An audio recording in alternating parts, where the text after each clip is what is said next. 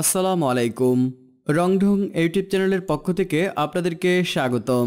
আজকের এবারের খবরের আলোচনায় রয়েছে সৌদি আরবের চারটি গুরুত্বপূর্ণ খবর নিয়ে বিস্তারিত। আজকের তারিখ চোদ্দই জুলাই দুই হাজার একুশ। পুরো ভিডিওটি দেখে বিস্তারিত জেনে নেবার অনুরোধ থাকল।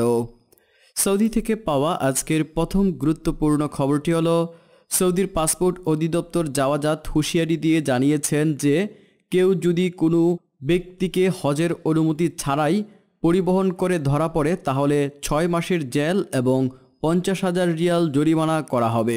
সৌদি গ্যাজেট পত্রিকার বারাত দিয়ে এই খবর জানানো হয়েছে।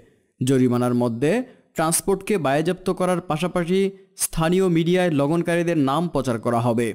একাধিক হজযাত্রীদের পরিবহন সুবিধা দেওয়া হলে জরিমানার পরিমাণও দ্বিগুণ হবে বলে জানানো হয়েছে। সৌদি থেকে পাওয়া আজকের দ্বিতীয় গুরুত্বপূর্ণ খবরটি হলো পাইলটদের দাবি না মানলে সৌদির ধাম্মাম রুটে বন্ধ হতে পারে বিমান বাংলাদেশ এয়ারলাইন্সের ফ্লাইট চলাচল। বেতনের মোটা অংশ কাটা এবং স্টাফদের সঙ্গে বৈষম্য নিয়ে অস্বস্তিতে পড়েছেন বিমান বাংলাদেশ এয়ারলাইন্সের পাইলটরা। এমন পরিস্থিতিতে পাইলটদের স্বাভাবিক কার্যক্রম এবং ফ্লাইট পরিচালনা ব্যাহত হচ্ছে বলে দাবি তাদের। বেতন বৈষম্য দূর না করলে কঠোর আন্দোলনেও যেতে পারেন পাইলটরা।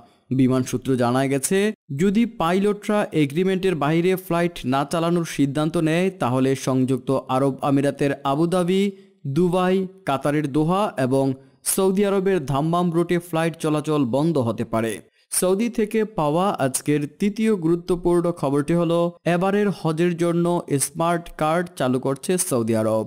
এই স্মার্ট হজ কার্ডের সকল ধরনের সেবার আয়োজন করা হয়েছে।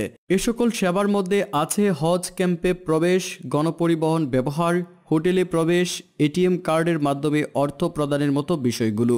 এই স্মার্ট হজ কার্ডের মাধ্যমে হারিয়ে যাওয়া হজ যাত্রীকেও খুঁজে বের করা যাবে।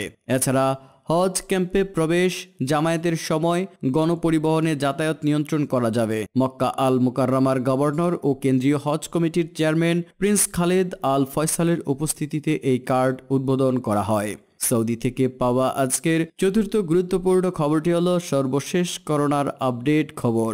সৌদি আরবে গত চব্বিশ ঘন্টায় নতুন করে করোনায় আক্রান্ত হয়েছে বারোশো জন।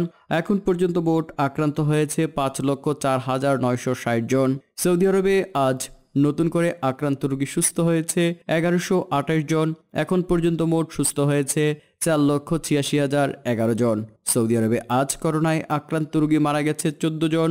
এখন পর্যন্ত মোট মারা গেছে আট হাজার বিশ জন।